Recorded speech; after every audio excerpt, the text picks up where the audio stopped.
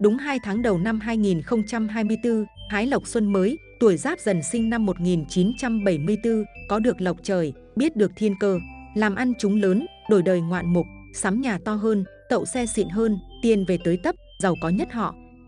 Giáp dần mạng thủy cuộc đời, thông minh nhạy bén danh công dễ thành, can chi hòa hợp an lành, giảm phần sóng gió trồng trành thuyền nan, là người lớn mật to gan, lâm nguy nhiều độ ổn an trung thời. Bạc tiền sáng tối đầy vơi, gia đình tạo dựng cơ ngơi được bền, hậu vận mọi việc đều nên, hào con thịnh vượng tuổi tên với người, giáp thìn may rủi có hồi, lộc tài đầy đủ đổi ngôi vô chừng. Vâng thưa quý vị, nếu biết cuộc đời là một chuỗi ngày mưu sinh vất vả, lo lắng, muộn phiền đủ đường, thì có lẽ ta đã chẳng đến cái thế giới này đúng không ạ? Cùng nhìn lại xã hội hiện nay, sự kỳ thị giàu nghèo ngày càng rõ rệt, dù cho chúng ta có làm việc quần quật cả ngày lẫn đêm, kiếm từng đồng bằng mồ hôi, xương máu, vất vả sớm hôm mà vẫn bị người đời vùi dập không thương tiếc. Đã vậy, còn bị anh em xa lánh, hàng xóm cũng coi khinh, cuộc sống quá đỗi vất vả, khiến chúng ta phải đi vay mượn thêm để sống qua ngày. Thì nay lại phải oàn mình gánh chịu thêm cái hạn dịch bệnh, việc làm mất hết, tiền đâu mà trả nợ, nghĩ đến đây mà chỉ biết nuốt nước mắt vào trong. Sao mà cuộc đời bất công với ta quá vậy?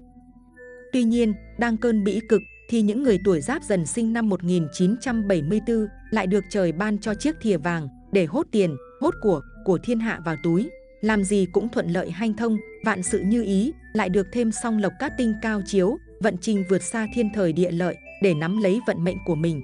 Người tuổi này số phận định rằng hai tháng đầu năm 2024 sắp tới là hai tháng ăn nên làm ra, đổi vận đổi đời là hai tháng thu hái quả ngọt sau bao năm khổ cực phấn đấu.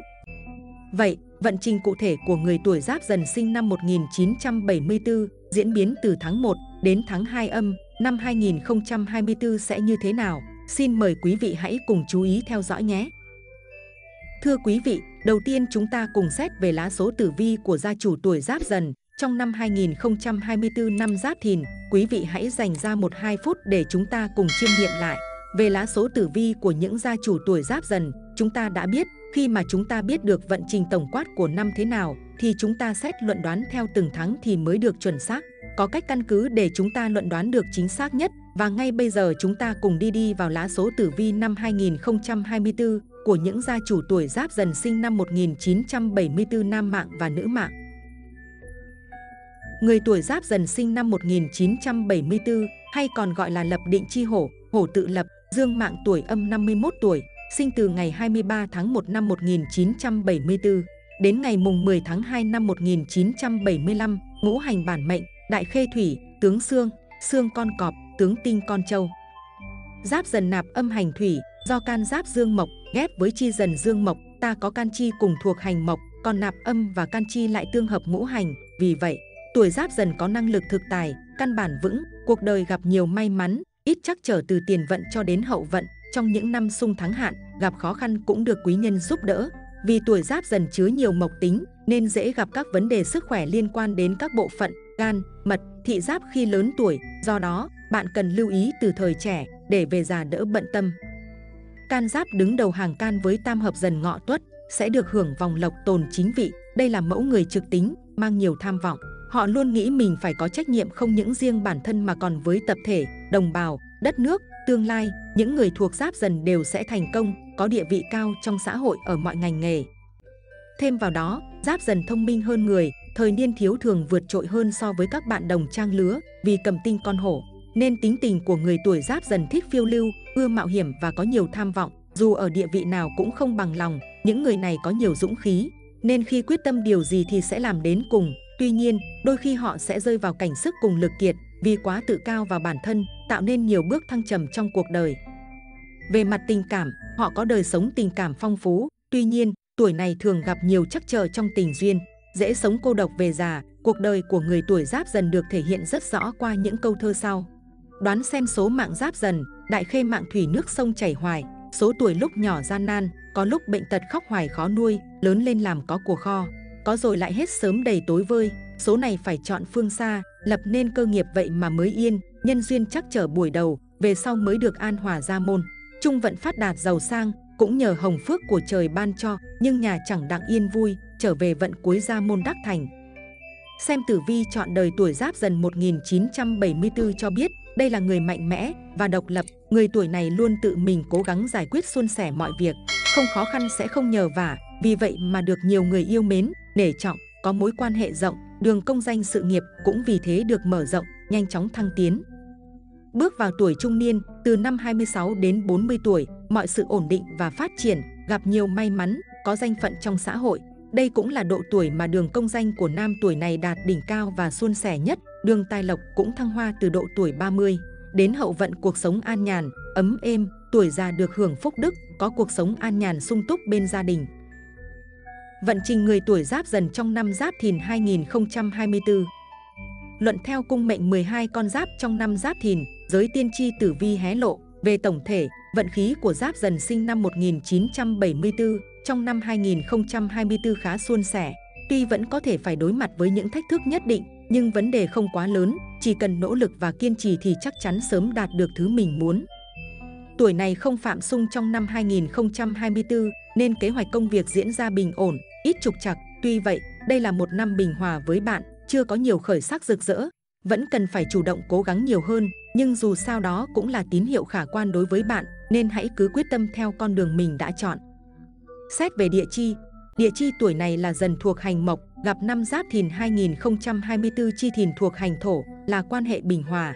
Trong năm công việc của người tuổi dần chủ về không nhiều khởi sắc hay thay đổi, cũng không được may mắn nhiều. Tử vi tuổi giáp dần năm 2024 thấy ngũ hành mộc của địa chi tuổi xung khắc với ngũ hành thổ của chi năm, nên đây là năm người tuổi dần chủ về hao tổn.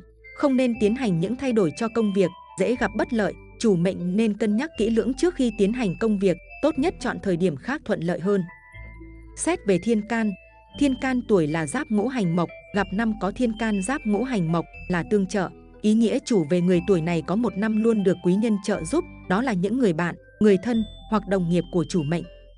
Xem tử vi 1974 năm 2024 thấy, phương diện kinh doanh thì năm này dễ có sự hồn hạp và chung vốn với người khác. Cùng với đó đây là năm rất tốt cho bản mệnh, nên người có thiên can giáp nên thực hiện các công việc đã lên kế hoạch vì dễ đạt được nhiều kết quả tốt đẹp. Xét về mối quan hệ ngũ hành, xem tử vi năm 2024 tuổi giáp dần thấy, người tuổi này có ngũ hành bản mệnh thuộc thủy, gặp năm 2024 là ngũ hành hỏa, thể hiện về quan hệ khắc xuất, xấu. Bởi vậy trong năm giáp thìn chủ mệnh có thể phải đối diện với nhiều hao tốn, đó là về sức khỏe không được tốt, khó khăn hay bất lợi đưa tới cho công việc. Tuy nhiên, đây cũng là năm chủ mệnh tuổi này đạt được một số kết quả tốt đẹp và thành công nhất định, được quý nhân phù trợ. Xét theo vận niên, theo tử vi tuổi dần 2024, tiến vào năm giáp thìn, quý bản mệnh tuổi giáp dần gặp vận niên chư phùng hỏa, tức là heo gặp lửa. Heo quay, vận niên này mang ý nghĩa, heo quay làm vật hy sinh cho người ta sự ngon miệng, còn mình nhận phần thua thiệt. Vì thế, trong năm phàm sự lớn nhỏ gì tuổi giáp dần nam mạng cũng phải thận trọng. Mỗi khi làm việc cho người khác phải suy nghĩ cho chín chắn rồi hãy làm, kẻo mang hại vào thân. Riêng về chuyện tình cảm lại chuyển biến tốt đẹp, nếu năm rồi vợ chồng thường hay có cuộc cãi vã, thì năm nay sẽ không còn gặp cái cảnh ấy nữa. Bầu không khí tình cảm sẽ êm dịu, người cô độc gặp cảnh vui tươi càng hạnh phúc tâm hồn, có khả năng tiến tới hôn nhân. Xét về vận hạn năm 2024 tuổi giáp dần Tam tai 2024 Tuổi giáp dần không phạm tam tai, tốt Kim lâu 2024 Tuổi giáp dần phạm kim lâu tử, tức hại cho con cái Kỵ việc đứng tên xây dựng nhà cửa hay lo chuyện đại sự cho con cháu trong nhà. Hoang ốc 2024 Tuổi giáp dần phạm hoang ốc, không được tuổi để xây dựng nhà cửa. Xét về giáp dần nam mạng. Sao chiếu mệnh? Bản mệnh giáp dần gặp sao vân hớn trong năm 2024 Chòm sao chủ về thị phi, tai tiếng. Sao vân hớn có tính chất không tốt nhưng tương đối lành Không gây ảnh hưởng nhiều tới công việc và cuộc sống của mệnh chủ. Nam mạng tuổi giáp dần đề phòng kẻ tiểu nhân lợi dụng. Chú ý lời ăn tiếng nói hàng ngày Vận hạn Người sinh năm 1974 gặp hạn thiên la Chủ về gia đạo Mâu thuẫn trong năm giáp thìn Giáp dần nam mạng là người đứng ra giải quyết các vấn đề xảy ra trong gia đình. Bản mệnh nên công tâm và công bằng với các thành viên, chủ động dàn xếp mọi chuyện tốt nhất để không ảnh hưởng tới tình cảm gia đình. Bình giải tử vi người tuổi giáp dần sinh năm 1974 trong 2 tháng đầu năm giáp thìn trên các phương diện công danh, sự nghiệp, tài chính, tình duyên và sức khỏe. 1.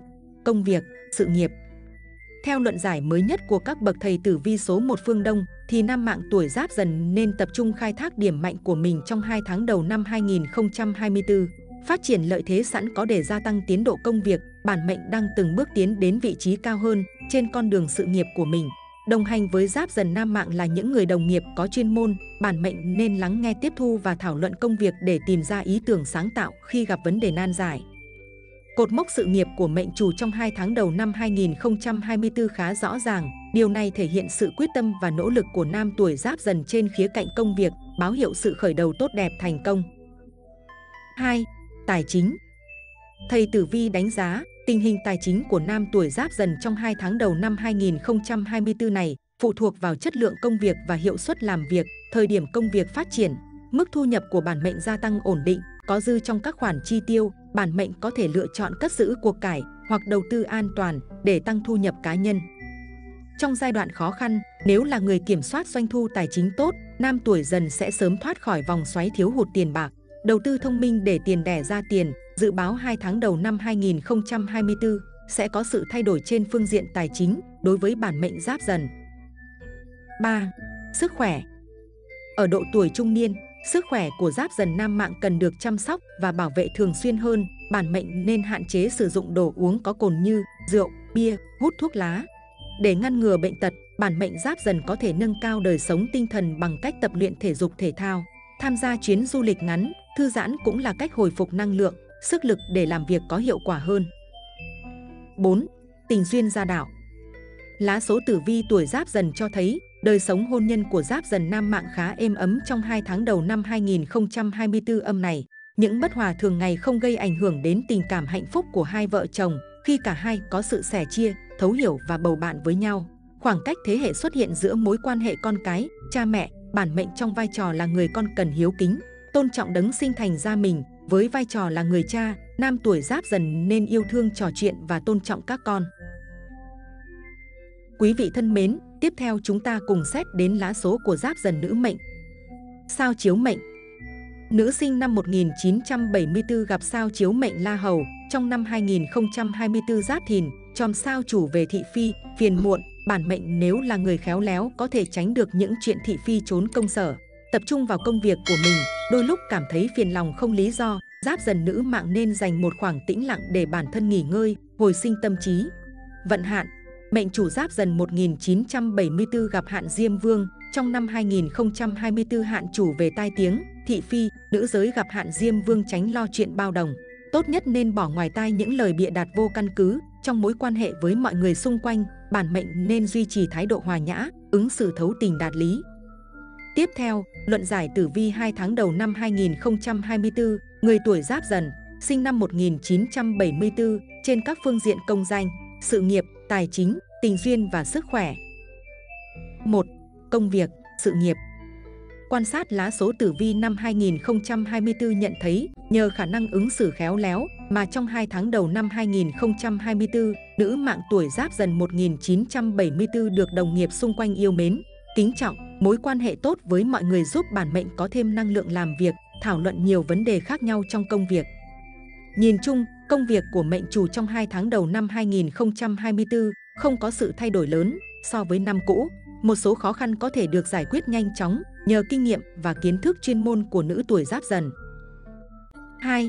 Tài chính Giới tử vi dự báo khả năng kiểm soát tài chính giúp giáp dần nữ mạng dư giả hơn trong các khoản chi tiêu trong 2 tháng đầu năm mới 2024 này. Mệnh chủ có thể cân đối tốt tài chính cá nhân và gia đình khi có sự hiểu biết về tiền bạc, tài sản. Hai tháng đầu năm 2024 là năm thích hợp để tích lũy đối với bản mệnh nữ tuổi dần 1974. Nên theo dõi chi tiêu hàng tháng, tránh xa các khoản vay quá sức. Ngoài ra nếu có đủ điều kiện sức khỏe, bản mệnh có thể gia tăng thu nhập bằng nhiều nguồn thu khác nhau. 3. Sức khỏe Xét về phương diện sức khỏe thì thấy được rằng trong 2 tháng đầu năm mới 2024, mệnh chủ giáp dần nên lưu tâm các bệnh về xương khớp, nhức mỏi. Đây là những dấu hiệu cho thấy cơ thể đang bắt đầu lão hóa. Duy trì thói quen sinh hoạt lành mạnh, bổ sung dưỡng chất cùng rèn luyện cơ thể sẽ giúp bản mệnh cải thiện sức khỏe. Nữ mạng tuổi giáp dần thường tìm kiếm sự an yên trong tâm hồn, mong muốn cuộc sống thoải mái, tự tại. Để làm được điều này, bản mệnh cần chấp nhận buông bỏ một số điều, cố gắng làm hài lòng tất cả mọi người, cố gắng trở nên hoàn hảo, cố gắng kiểm soát mọi thứ. 4. Tình duyên gia đạo Theo dõi tử vi hàng tháng nhận thấy, hai tháng đầu năm 2024 là thời gian thuận hòa trong chuyện tình cảm của bản mệnh giáp dần. Những bất hòa trong đời sống hàng ngày đều có thể giải quyết khi cả hai giải bày tâm sự, thấu hiểu và cảm thông cho nhau. Cuộc sống vợ chồng của bản mệnh nên có sự tôn trọng, giữ hòa khí, gia đạo của nữ mạng tuổi giáp dần đón nhận điềm lành trong hai tháng đầu năm 2024 giáp thìn. Các thành viên trong gia đình có cơ hội gắn kết tình cảm sau quãng thời gian bận rộn, tạm gác những bề bộn bên ngoài để quay trở về nơi được gọi là nhà. Bây giờ chúng ta cùng xét về lá số tử vi của những gia chủ tuổi giáp dần trong những tháng 1 và tháng 2 năm 2024 âm lịch. Đầu tiên, chúng ta xét về tháng 1 âm lịch, tháng Bính Dần, năm Giáp Thìn. Xét theo mối tương quan của ngũ hành bản mệnh với lưu niên tháng, thì thấy được rằng tháng 1 năm 2024 âm, cuộc sống của con giáp tuổi giáp dần khá hài hòa. Về tổng thể đạt được mức tăng tiến nhất định, con giáp này có tín hiệu tốt trong sự nghiệp, phát triển khá thuận lợi theo mục tiêu đề ra. Bản mệnh đủ năng lực để giải quyết mọi chuyện lớn nhỏ, nhiệm vụ vào tay là xử lý đâu vào đó, được cấp trên vô cùng tán thưởng. Khá nhiều việc cần chi tiêu cho ngày đầu năm mới bao gồm mừng tuổi và mua sắm trong gia đình, nhưng may mắn là mọi việc đều trong tầm kiểm soát và giáp dần cũng có nguồn thu nhất định. Chuyện tình cảm của bản mệnh trong năm mới khá hanh thông, vui vẻ, mối quan hệ của bản mệnh và một nửa của mình lúc này khá êm ấm, không có vấn đề gì đáng lo xảy ra. Tử vi tháng 2 âm lịch, tháng Đinh Mão, năm Giáp Thìn. Có thể nói rằng tháng 2 năm 2024 âm lịch là khoảng thời gian cực kỳ may mắn đối với người tuổi Giáp Dần. Mọi phương diện cuộc sống của bạn đều có bước phát triển đáng kể. Công lao bỏ ra được đền đáp xứng đáng. Trong sự nghiệp, nhờ có tam hội cũng như đế vượng chiếu mệnh, bản mệnh làm việc gì cũng thuận lợi. Thậm chí, bạn tìm được cơ hội để thể hiện điểm mạnh của mình. Trở thành người đáng kính trong tập thể, mọi kế hoạch bạn đặt ra đều có những dấu hiệu tích cực. Bạn tin tưởng vào bản thân và nhận được sự hỗ trợ của mọi người xung quanh. Sự nghiệp thuận lợi cũng kéo theo tài chính phát triển nhanh chóng, bạn có cơ hội nhận được nhiều khoản lương, thưởng nóng trong khoảng thời gian này, có người còn được cất nhắc tăng lương, khiến cuộc sống của Giáp dần từ nay về sau có nhiều cải thiện. Người làm kinh tế cũng được thu lời từ những dự án đầu tư trước đó, từ những đơn hàng tấp nập không dứt. Theo dõi tử vi tháng 2 năm 2024 tuổi dần âm lịch thấy rằng tình cảm của bản mệnh tuổi giáp dần cũng có nhiều đào hoa chiếu mệnh, đặc biệt, người độc thân đa tài đa nghệ, chú trọng ngoại hình nên rất dễ thu hút sự chú ý của người khác giới. Quan trọng là bạn phải tinh tường để chọn ra ai là người phù hợp. Tuy nhiên, với người đã lập gia đình, bạn cần chủ động giữ khoảng cách thích hợp với người khác, chớ đẩy mình vào những mối quan hệ phức tạp. Tổng kết lại, tử vi khoa học nhận định, trong năm không được lưu niên hỗ trợ, lại không có cát tinh soi chiếu, công việc làm ăn của người tuổi giáp dần chỉ đạt mức trung bình, hầu như không có bước tiến nào mang tính đột phá hay thành công lớn, người làm công ăn lương vẫn y án như cũ, mức sống không đổi, người làm tư làm chủ có một năm kiếm tiền khó khăn, đầy cạnh tranh, tiền bạc cũng có lúc kiếm được, nhưng đa phần tiêu hao hết, khó mà tích lũy, trong năm cần thận trọng khi hợp tác làm ăn kẻo vướng họa lao ngục. Về gia đạo, mối quan hệ giữa các thành viên có nhiều khúc mắc, xảy ra nhiều mâu thuẫn vì vấn đề quyền lợi, người thân cãi vã, hoặc có thể trực tiếp xảy ra kiện cáo. Những chuyện này sẽ khiến bản mệnh cảm thấy rất cáu kỉnh và muộn phiền. Sức khỏe giảm, đau ốm không khỏi, hao tốn nhiều tiền bạc cho chữa trị, đương sự cần chú ý đến chế độ ăn uống, hạn chế đạm động vật để không làm tăng cholesterol, cao huyết áp, tiểu đường. Cách hóa giải vận hạn cho tuổi giáp dần sinh năm 1974 trong năm 2024 và phong thủy may mắn trong năm 2024 giúp tín chủ giáp dần xua hung đón cát, tăng tài tụ lộc, vượng vận khí suốt cả năm. Đối với tuổi giáp dần nam mạng, để hóa giải tai ương do sao vân hớn và hạn thiên la mang lại, nam tuổi giáp dần nên thay đổi tâm tính, sống tốt, sống đúng và sống tích cực, có cơ hội nên làm việc thiện để lan tỏa yêu thương, tích lũy công đức. Ngoài ra, bản mệnh giáp dần có thể tiến hành hóa giải sao hạn một lần trong năm giáp thìn, thực hiện tại gia hoặc nơi đền chùa, chuẩn bị lễ vật tùy tâm, dâng hương thành kính. Đối với tuổi giáp dần nữ mạng, gặp sao chiếu mệnh La Hầu và vận hạn Diêm Vương khiến nhiều người lo lắng bất an để giảm tránh ảnh hưởng của sao hạn. Giáp dần nữ mạng trước hết phải biết quý trọng sinh mệnh, biết ơn những gì mình đang có, khi có cơ hội nên tạo phước gieo duyên để gặt được quả lành. Ngoài ra, nữ tuổi dần 1974 có thể tiến hành hóa giải sao hạn tại gia hoặc nơi đền chùa thiêng liêng, thời điểm thích hợp nhất là vào xuân giáp thìn, thực hiện một lần trong năm, bản mệnh thành kính dâng hương, tùy tâm biện lễ vật. Phẩm phong thủy Sử dụng vật phẩm phong thủy giúp người tuổi giáp dần chấn an tinh thần, cầu vận may tài lộc như mặt Phật bản mệnh hoặc vòng tay trầm hương, giáp dần được Phật hư không Bồ Tát hộ mệnh. Ngài là vị Phật ban cho chúng sinh trí tuệ sáng suốt và phúc đức từ tâm, tuổi giáp dần có thể thỉnh mặt Phật hư không Bồ Tát tát bên mình để khai sáng tâm hồn, cầu sức khỏe, bình an trong cuộc sống. Người sinh năm 1974 tương sinh với mặt Phật đá mã não trắng, mệnh kim, tương hợp với mặt Phật đá núi lửa đen, mệnh thủy. Vòng tay trầm hương có công dụng lưu thông khí huyết, tăng cường sức khỏe, đặc biệt sử dụng vòng tay gỗ trầm chuỗi 108 hạt giúp mệnh chủ giáp dần đón nhận năng lượng tích cực, câu tài lộc và may mắn. Phong thủy may mắn cho tuổi giáp dần năm giáp thìn 2024, ứng dụng phong thủy may mắn cho người tuổi giáp dần 1974 trong năm 2024, mời quý tín chủ theo dõi. 1. Chọn người hợp tuổi sông nhà Một vài nguyên tắc quan trọng khi chọn người hợp tuổi sông nhà mà mệnh chủ có thể lưu ý, chọn người có tính cách tốt bụng, nhân hậu, nên chọn những người khỏe mạnh, có ý chí vươn lên trong cuộc sống, không phân biệt nam nữ sông nhà, niềm nở tiếp đón khách để đón nhận niềm vui trọn vẹn. Gia chủ giáp dần 1974, xét theo tam hợp dần ngọ tuất, nên chọn người tuổi ngọ và tuổi tuất sông nhà, xét theo nhị hợp dần hợi, nên chọn người tuổi hợi sông đất đầu năm. Ngoài ra, nếu xét theo mệnh, giáp dần nam nữ mạng, nên chọn người mệnh kim sông đất để đón nhận phúc lành. Cụ thể, danh sách những người hợp tuổi sông nhà cho tuổi dần 1974 gồm có tuổi kỷ hợi 1959, tuổi kỷ dậu 1969, tuổi nhâm tý 1972, tuổi tân dậu 1981, tuổi kỷ tỵ 1989, tuổi nhâm ngọ 2002. 2. Xuất hành đầu năm 2024 Bản mệnh tuổi giáp dần nên chọn ngày mùng 1 Tết, tốt nhất là giờ tí, từ khi giao thừa đến 1 giờ sáng, để sông đất đầu năm.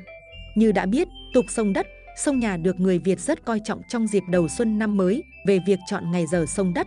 Theo ý kiến nhiều chuyên gia, nên chọn là ngày mùng 1 Tết, tốt nhất chính là giờ tí lúc giao thừa đón năm mới. Lý do là bởi quan niệm xưa cho rằng, thời điểm chuyển giao giữa năm cũ và năm mới sẽ chiêu nạp được sinh khí tốt nhất cho cả năm. Nếu mọi việc suôn sẻ, may mắn trong ngày đầu tiên của năm mới thì cả năm sẽ thuận lợi, tốt lành.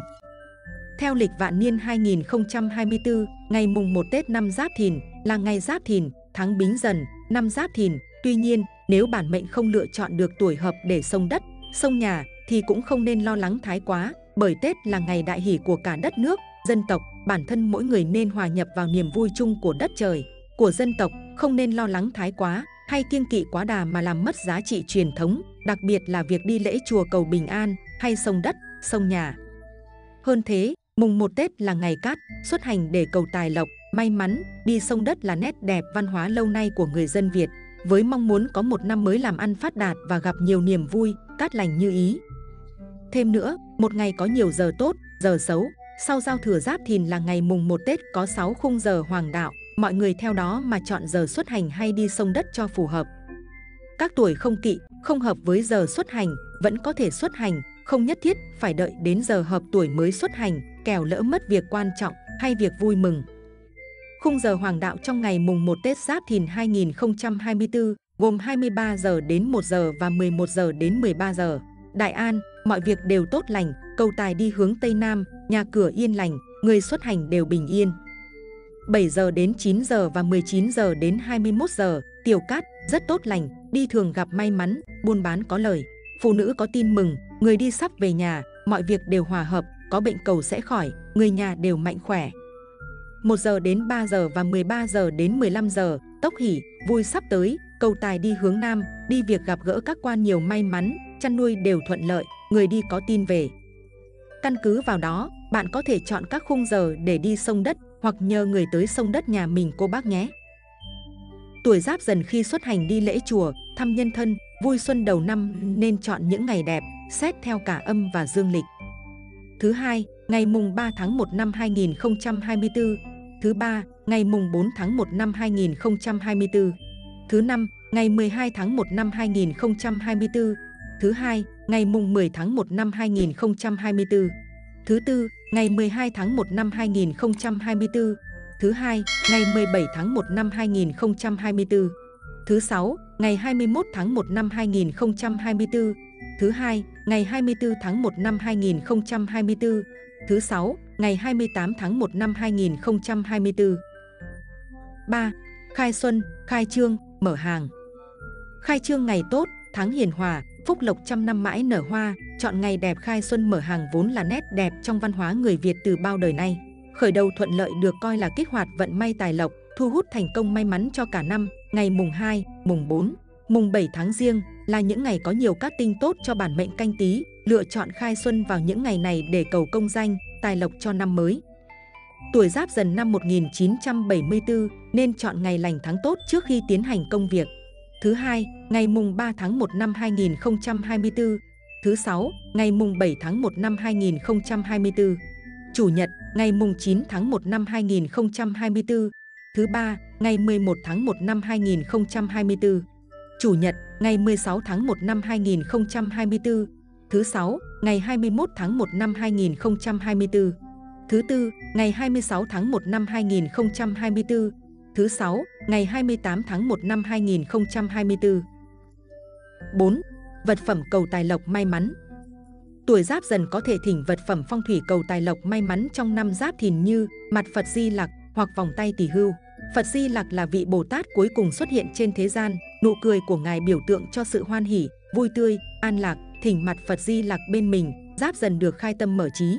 Tâm an vạn sự an, tuổi dần 1974 mệnh thủy, tương sinh với mặt Phật đá mã não trắng, mệnh kim, tương hợp với mặt Phật đá núi lửa đen, mệnh thủy.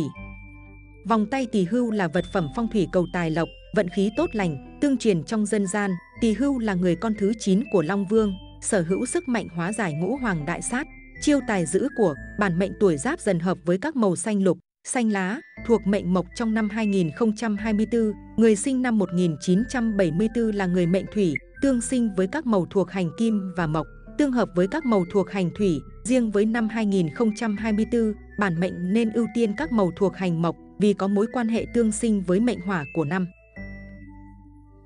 Thưa quý vị thân mến, trong chuyên mục Nhân sinh cảm ngộ ngày hôm nay, Minh Đường Tử Vi xin được chia sẻ về lời Phật dạy, muốn có phúc báo đừng quên tu dưỡng năm điều này. Tu dưỡng bản thân chính là quá trình bồi đắp những phẩm chất đạo đức và học hỏi những điều hay lẽ phải không ngừng nghỉ trong thời gian dài, có tu dưỡng thì mới có phúc báo. 1. Làm người chân thật Làm người chân thật là luôn có tấm lòng chân thành, thì khi đối xử với người nhà sẽ đạt đến mức trí thân, trí hiếu, trí tình, trí thâm, còn khi đối với bạn bè, người xung quanh họ sẽ không có cái tâm tính toán, mưu mô, mà luôn trong sáng vô tư và hết lòng giúp đỡ, khoan dung rộng lượng, không so đo thiệt hơn. Đối với thiên nhiên họ có thể tự tìm được niềm vui ở trong ấy, người chân thật luôn được mọi người yêu mến tin tưởng. Nhưng có nhiều người lại cho rằng họ rất khổ hoặc ngốc, tuy họ luôn là người chịu thiệt, nhưng họ lại luôn gặp may mắn trong mọi công việc. 2. Biết tự ước thúc bản thân Người tự kiểm soát được bản thân sẽ không làm việc một cá hát tùy tiện, không bị cám dỗ bởi sự tình bên ngoài, trong lòng họ họ luôn vững như dãy trường thành, có thể ngăn chặn được sóng cao vạn trượng, người luôn ước thúc bản thân luôn dùng tâm thuần tịnh để đối đãi với người khá, giữ được lòng chính trực không thiên vị. Người như vậy tâm không động, mắt không say, miệng không tham với những thứ cám dỗ của xã hội. Sở dĩ họ làm được những điều ấy bởi vì họ luôn có lòng tự tôn và tự tin vào bản thân mình. 3. Tu dưỡng sự tĩnh lặng Tĩnh là một loại tâm bình thản, là một loại khí phá hát, một loại cảnh giới cao thượng. Người có thể thủ tĩnh chính là giữ được trí hướng, giữ được bản tâm, giữ được sự thanh bần, khí tiết của mình. Muốn thủ tĩnh cần phải tu dưỡng trở thành người mà ở ngoài thân thì không vướng bận, ở trong tâm thì an yên. Tâm không động mới có thể giữ vững được khí tiết, tâm không động mới có thể bảo trì được chân ngã. Tĩnh không phải là im lặng, mà chính là ở trong động, mà có thể giữ được tâm thái cân bằng.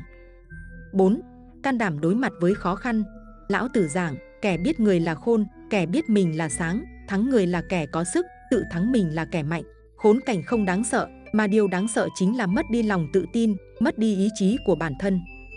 Trong cuộc sống không phải lúc nào công việc, gia đình cũng thuận buồm xuôi gió, mà nhiều khi nó xảy khó khăn mà tưởng chừng không thể vượt qua được.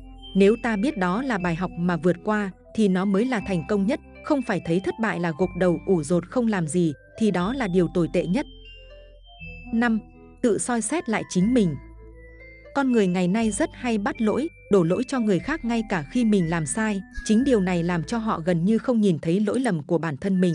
giữa người với người phát sinh mâu thuẫn, xung đột, nếu một bên có thể quay lại nhìn xem bản thân có sai sót gì không, thì rất nhiều khi mâu thuẫn tự nhiên sẽ được hóa giải. Nếu cả hai đều có thể làm được như vậy, thì mọi việc đều trở nên tường hòa thông thuận. Mỗi khi gặp mâu thuẫn giữa người với người, thì chúng ta cần nhìn bản thân để hoàn thiện hơn. Bạn biết không, thiên đường hay địa ngục, thiện hay ác đều nằm trong suy nghĩ của chúng ta. Một vị sư già ngồi ở bên đường, đôi mắt nhắm chặt, đôi chân khoanh lại, hai tay đan chéo nắm lại dưới vạt áo, lặng im suy nghĩ. Bỗng nhiên, mạch suy nghĩ của ông bị cắt ngang. Điều làm phiền ông là giọng nói khàn khàn và khẩn khoản của một võ sĩ. Thưa sư thầy, sư thầy hãy cho tôi biết thế nào là thiên đường, thế nào là địa ngục. Vị sư già không hề phản ứng, cứ như thể không nghe thấy bất cứ điều gì. Nhưng ông từ từ mở đôi mắt ra, khóe miệng hiện lên một một nụ cười mỉm. Người võ sĩ đứng ở bên cạnh, nóng lòng sốt ruột như thế kiến trên chảo lửa. Anh muốn biết bí mật của thiên đường và địa ngục ư.